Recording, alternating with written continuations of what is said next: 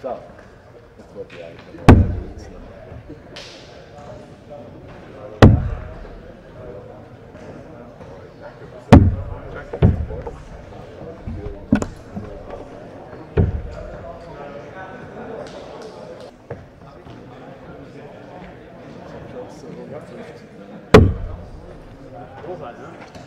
Bullseye, ja.